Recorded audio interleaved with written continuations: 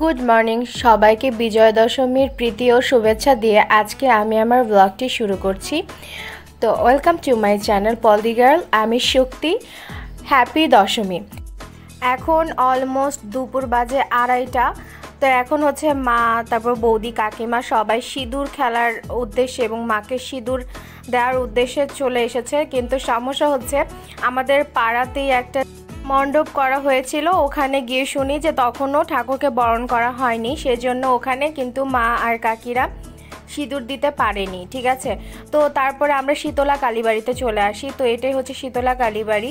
শীতলা কালীবাড়ি অনেক বড়, এখানে এসে দেখি অন্য কাহিনী, এখানে প্রচুর প্রচুর ভিড়।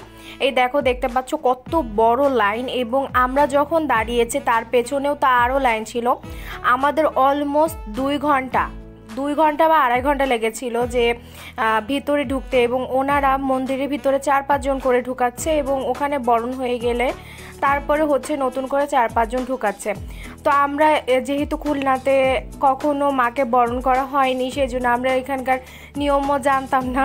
তো অনেক বেশি টায়ার্ড হয়ে গিয়েছিলাম দেখতে পাচ্ছ কত লম্বা লাইন তো আমাদের বরণ করা শেষ হতে হতে এবং সিঁদুর খেলা শেষ হতে হতে অলমোস্ট সাড়ে পাঁচটা বেজে গিয়েছিল এবং বাসায় যেতে যেতে পৌনে ছটা ছটা বেজে গিয়েছিল। যেহেতু দুপুরবেলায় সবাই উপোস করা, কেউ আমরা কিছু খাইনি, তো এখানে হচ্ছে দাদা এবং আমার ভাই কাজিন আর কি, একটু চা খেয়ে নিচ্ছিল। তো মা এখন ঠাকুরকে বরণ করতে যাচ্ছে এবং মাকে সিঁদুর পরাতে যাচ্ছে। তো তোমরা ভিডিওটি এনজয় করতে থাকো।